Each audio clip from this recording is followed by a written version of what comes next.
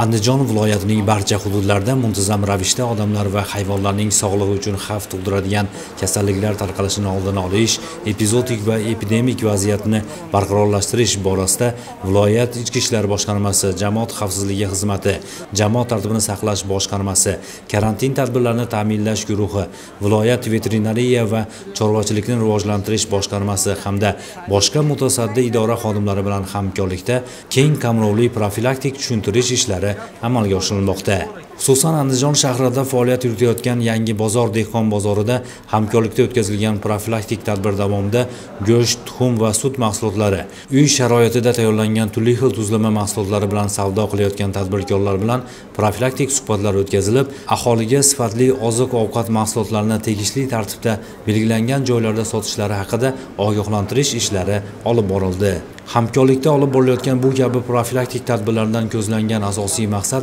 bozorlarda oziq ovqat mahsulotlarining sifati va xavfsizligini ta'minlash hamda ushbu mahsulotlarni aholi vakillariga belgilangan me'yor talablari asosida yetib borishiga ko'maklashishdan iboratdir. Hozirda bu boradagi ishlar davom ettirilmoqda.